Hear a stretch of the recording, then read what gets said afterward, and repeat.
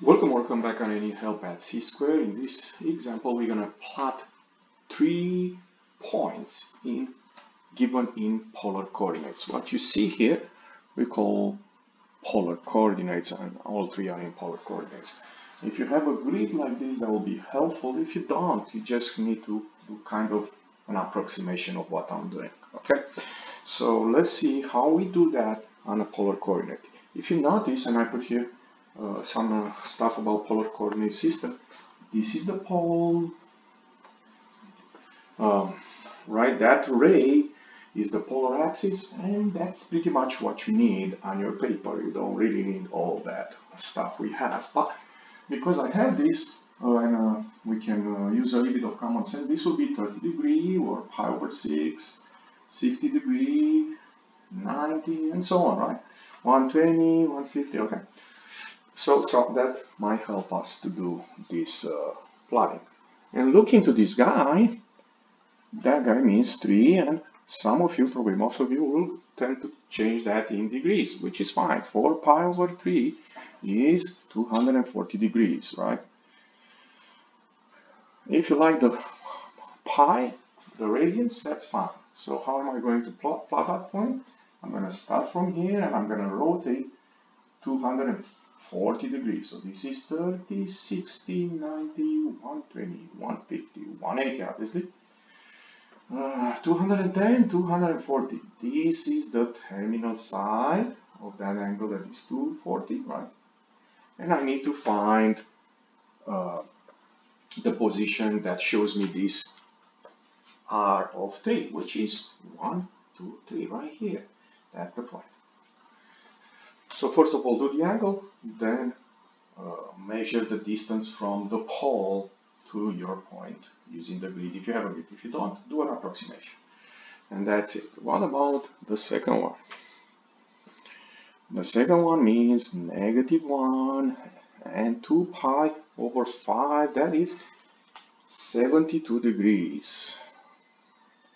So how are we going to do this?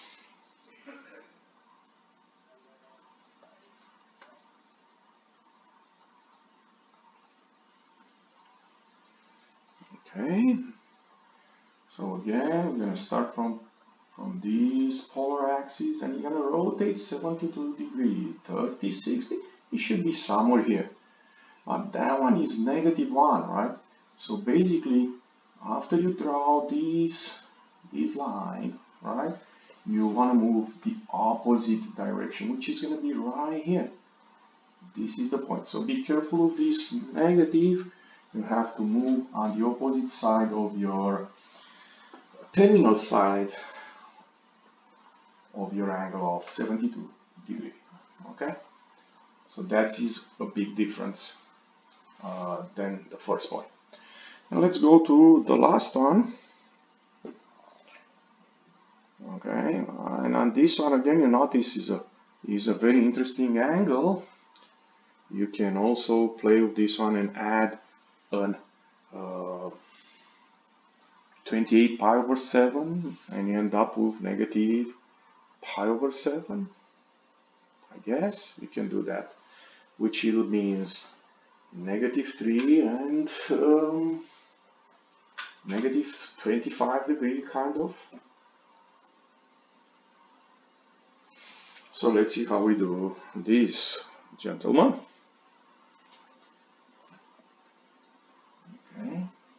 Oops, I should have left that there. Okay, so in this moment again, this is the polar axis, the pole, and you have to move these negative 25 degrees angles. So that will be some something like this. Right?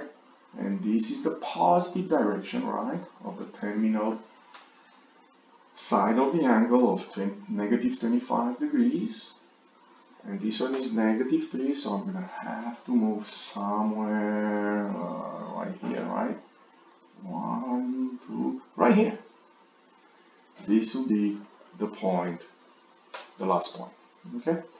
So be careful of these uh, negative values in your uh, polar coordinates. If you enjoyed this video don't forget to click the like button and come back on c square for more help. Thank you